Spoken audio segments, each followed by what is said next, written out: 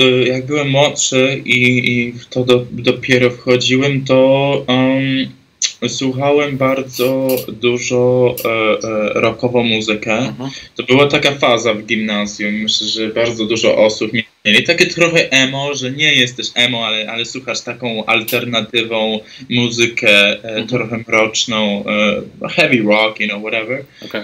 A, ale poza tym to, takie y, też bardzo znane akustyczne e, artyści. Też dla mnie to były wspaniałe i bardzo dużo często słuchałem, na przykład em, e, Eda Sheerana, e, James Arthur. Mm, bardzo dużo amerykańskich, ale tak jak mówię, szczególnie, no to, to, to głównie to chodziłem za Green Day'a, za My Chemical Romance i Eda Sheerana Mhm. no to, to, to się róż, różniło też w tych czasach, to tak samo no, słuchałem e, rap, a i inne gatunki muzycznych, ale jeszcze po pierwsze nie doceniałem do końca, a po drugie nie, nie słuchałem aż tak często jak, jak wiesz, rock i te akustyczne. No pierwszy polski utwór, nie, powiedzmy, którym e, nauczyłem się śpiewać, to e, było e, Chryzantemy Złociste.